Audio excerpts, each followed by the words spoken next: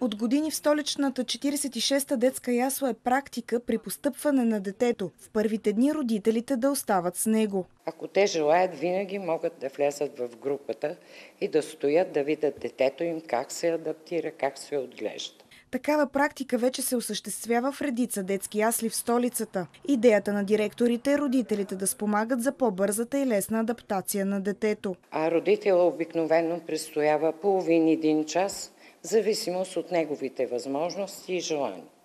Щом види, че детето е спокойно и се заиграва, си тръгва.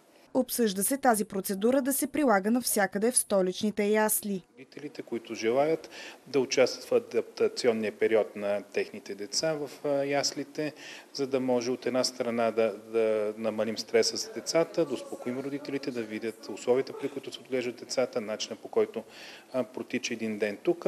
Това ще помогне на децата, ще помогне на родителите, естествено ще помогне и на работещите в детските ясли, за да може по-лесно и по-бързо да приключи адаптационния период на малките деца.